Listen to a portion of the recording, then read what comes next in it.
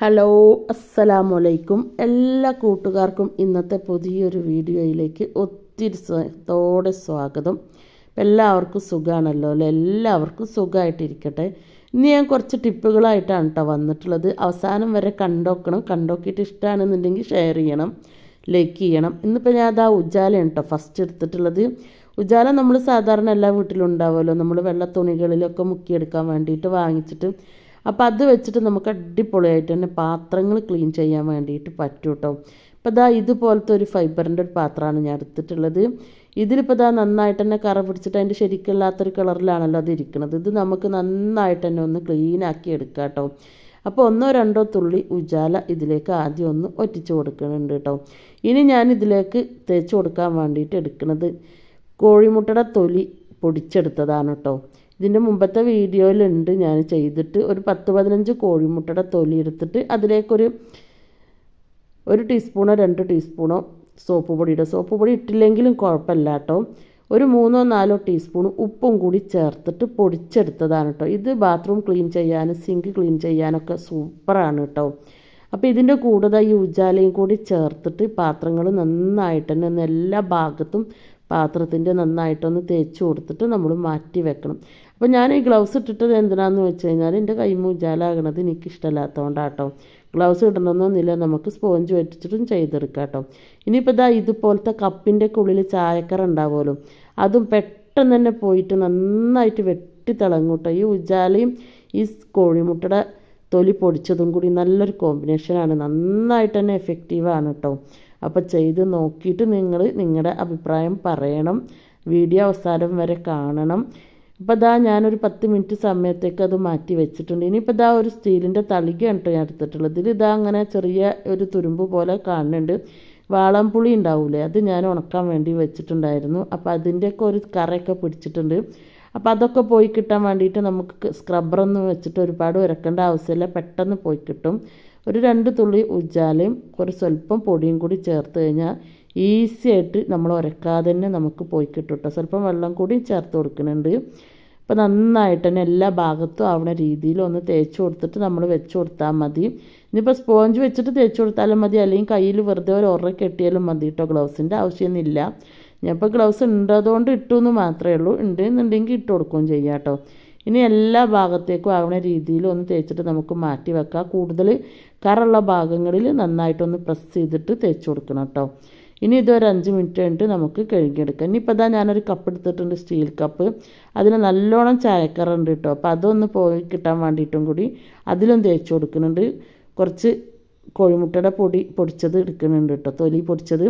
അത് നന്നായിട്ട് തന്നെ ഒന്ന് കപ്പിന്റെ ഉള്ളിൽ നന്നായിട്ടൊന്ന് തേച്ച് കൊടുത്തിട്ട് നമുക്കൊരു അഞ്ച് മിനിറ്റ് കഴിഞ്ഞിട്ട് നന്നായിട്ട് തന്നെ കഴുകിയെടുക്കുക. കഴുകിയെടുക്കുന്ന സമയത്ത് വെട്ടി തിളങ്ങൂട്ടോ. സ്റ്റീൽ പാത്രങ്ങളും ഉജാല വെച്ചിട്ട് കഴുകിയെടുക്കുന്ന സമയത്ത് സ്റ്റീൽ പാത്രങ്ങൾ വല്ലാതെ തിളങ്ങി കിട്ടുന്നുണ്ട് കേട്ടോ. അടിപൊളിയാണ് സെറാമിക് പാത്രങ്ങളും സ്റ്റീൽ പാത്രങ്ങളൊക്കെ കഴുകിയെടുക്കാൻ വേണ്ടിയിട്ട്. ഇനിയിപ്പോൾ നമുക്ക് ഇതൊരു പാത്രത്തിലേക്ക് വെള്ളം എടുത്തിട്ട് ഒന്ന് കഴുകിയെടുക്കാം.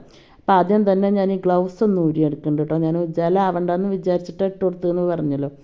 അപ്പോൾ ആ ഗ്ലൗസ് ഊരിയെടുത്തിട്ട് നമുക്ക് കപ്പൊന്ന് കഴുകിയെടുക്കാം. കപ്പിൽ ഇപ്പോൾ ഒന്നും പ്രത്യേകിച്ച് നമ്മൾ ചെയ്തിട്ടില്ല. ആ ഉജാലയും കോഴിമുട്ടയുടെ തൊലി പൊടിച്ചതും കൂടി വെച്ച് നന്നായിട്ടൊന്ന് തേച്ച് കൊടുത്ത് ഒരു അഞ്ച് മിനിറ്റ് കഴിഞ്ഞിട്ട് നമുക്ക് കഴുകിയെടുക്കുമ്പോൾ നല്ല ശുദ്ധ വെള്ള കളറിൽ കിട്ടും കേട്ടോ സൂപ്പറായിട്ട് തന്നെ അതിന്റെ ഉള്ളിലുള്ള എല്ലാ കറകളും പോയി കിട്ടിയിട്ടുണ്ട്. നിങ്ങൾക്കിത് എത്രത്തോളം മനസ്സിലാവുന്നുണ്ടെന്ന് അറിയില്ല.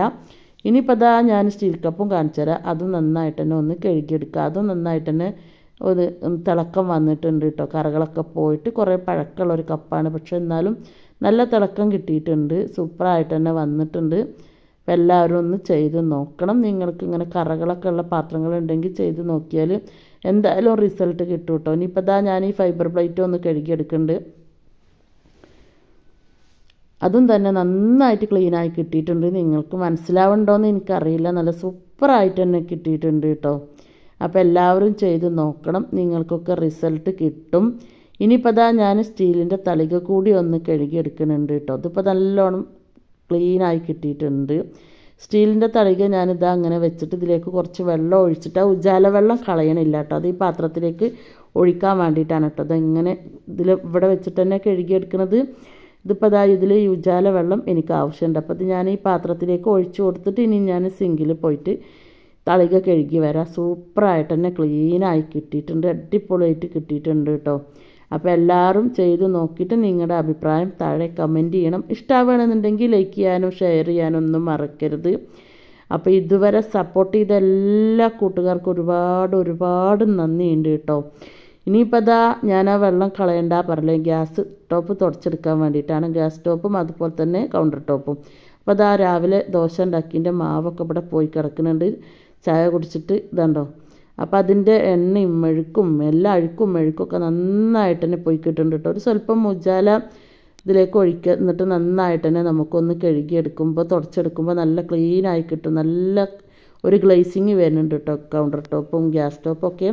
അപ്പോൾ വെറുതെ നമ്മൾ വെള്ളത്തിൽ ഒരു ഇറ്റ് ഡിഷ് വാഷോ അതല്ലെങ്കിൽ സോപ്പോ വെള്ളമോ ഒരു സ്വല്പം മുജാലയും കൂടി ചേർത്തിട്ട് തുടച്ചെടുക്കുമ്പോൾ നല്ലോണം തന്നെ ക്ലീനാണ് അപ്പോൾ എല്ലാവരും ചെയ്ത് നോക്കണം. ഇപ്പോൾ ഗ്യാസ് സ്റ്റോപ്പൊക്കെ നല്ല ക്ലീൻ ക്ലീനായിട്ട് തന്നെ കിട്ടിയിട്ടുണ്ട് കേട്ടോ നല്ലൊരു ഗ്ലേസിംഗ് ആണ് ഇതിങ്ങനെ തുടച്ചെടുക്കുന്ന സമയത്ത്.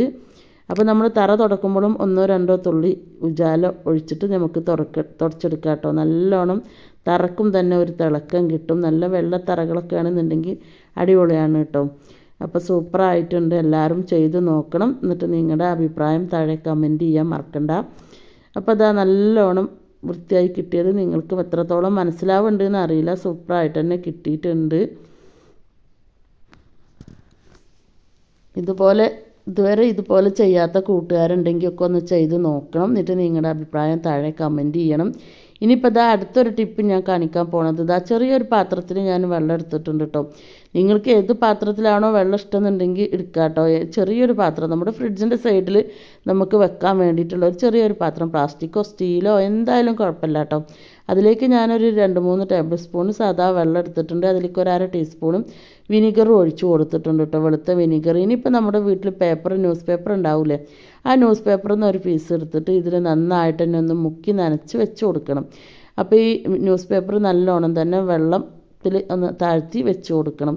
ആ പാത്രത്തിൽ എത്രയാണോ കൊള്ളണമെന്നുണ്ടെങ്കിൽ അത്രയും തന്നെ നമ്മൾ വെച്ച് കൊടുത്താൽ മതി കേട്ടോ ചെറിയ പീസുകളാക്കിയിട്ട് വെച്ച് കൊടുക്കണം പിന്നെ ഒരുപാട് പഴയ ന്യൂസ് പേപ്പറൊന്നും വെച്ച് കൊടുക്കരുത് കുറച്ചൊക്കെ നല്ല ന്യൂസ് പേപ്പർ ആയിരിക്കണം അഴുക്കൊന്നും ഇല്ലാത്ത ന്യൂസ് പേപ്പർ ആക്കാൻ വേണ്ടിയിട്ട് നോക്കണം കേട്ടോ. നമ്മൾ ഫ്രിഡ്ജിൽ വെച്ച് കൊടുക്കാനല്ലേ അപ്പോൾ അതുകൊണ്ട് അതിൽ കച്ചറയും ഒന്നും ഇല്ലാത്ത നല്ല ന്യൂസ് പേപ്പർ എടുത്തിട്ട് നമുക്ക് വെച്ച് കൊടുക്കാം അപ്പോൾ ഇതുപോലെ ഒന്ന് ഇനി വെറും വെള്ളത്തിലായാലും കുഴപ്പമൊന്നുമില്ല. വിനീഗർ ഇല്ലെങ്കിലും കുഴപ്പമൊന്നുമില്ല കേട്ടോ. ഇനി ഇത് നമുക്കൊന്ന് ഫ്രിഡ്ജിൽ കൊണ്ടുപോയിട്ട് വെച്ച് കൊടുക്കുക അപ്പോൾ ഫ്രിഡ്ജിൽ വെച്ച് കൊടുക്കുന്ന സമയത്ത് ഏതെങ്കിലും ഒരു അരുക്ക് ഭാഗത്തിൽ വെച്ച് കൊടുത്താൽ മതി കേട്ടോ ഫ്രീസറിലല്ല ഫ്രിഡ്ജിൽ ഏതെങ്കിലും ഒരു ഭാഗത്ത്.